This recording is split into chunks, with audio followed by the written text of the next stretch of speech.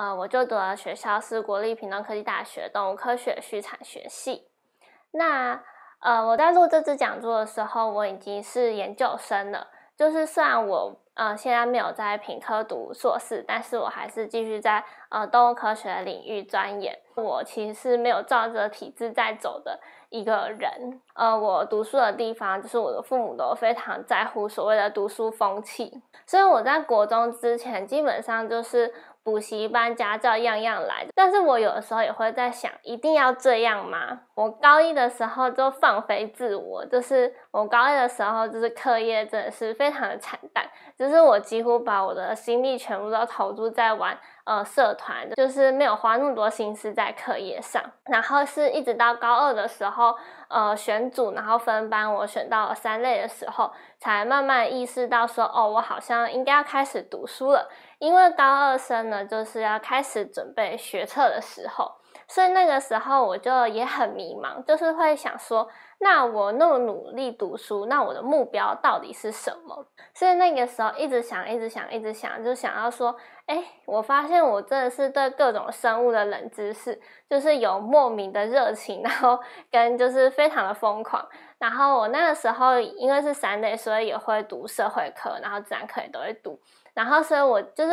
开始有一点，就是社会科会慢慢的把它就是放掉，就是呃，我该背的有背就好了，我也不会想要再去做更多的钻研。但是，就是对于生物的话，我就是会直接两眼发亮，然后就是每天想要说，哦，今天要来复习生物的时候，就会很开心。然后，所以那时候就想说，我好像可以一辈子都就是泡在这个生物的领域里面。所以那个时候就是在准备考学测的时候，我的第一志愿就是屏东科技大学。所以我算是呃高中生转考科大的一个呃，就是非常坚持的人。然后，所以就是我觉得这是我这身为高中生对学以致用的追求。因为高中的时候一直读书，然后都。不太清楚，说那我这些读的国音数什么的，之后到底会用在哪里？会不会用在尾后的职业？所以呢，那个时候我就很努力的以评科当做我的目标。但是接着学测成绩放榜了，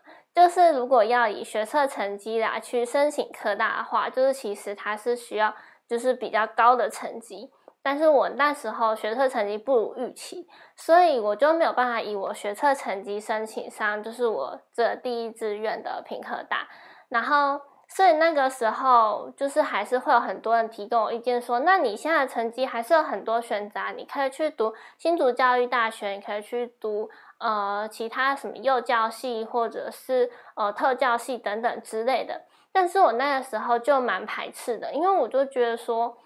嗯，那好像不是我想做的事情，我就会觉得说，嗯，别人的选择可能不是我的选择，所以当学测成绩不如预期的时候，我反而更清楚知道自己想要的是什么。然后就是，所以呢，我就很坚持我的第一志愿，所以我就花了两个月的时间转，就是准备考统测。然后就是那两个月的效率真的是比就是我花半年一年准备学测还要呃多更多，因为我在那两个月之中写完了五本参考书，然后还有就是近十年的历届试题，然后所以呢我就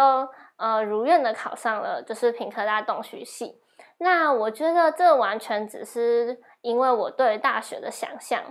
就是我很在乎大学的环境，然后还有是不是。呃，我想象中有一个广大的校园，然后有呃，就是明媚的阳光，然后新鲜的空气等等，所以我觉得平科大它符合我对于大学的想象，因此呢，我就非常的坚持。但是可能会有人想说，呃，那你读科大，但是你现在又转普大研究所，那你是不是后悔了，还是你又走回老路？但是，就是我，就是到现在想了很久之后，我就觉得说，其实科大跟普大，甚至是每一所大学之间，他们的发展的重点，然后还有学校的风气跟环境等等，都是不一样的。其实就是看，就是你需要什么样的资源，然后你就往就是那个学校去走。所以并不是说就是呃，我就是要读普大，我就是要读科大，而是说你要知道自己要怎么样的资源才是最重要的。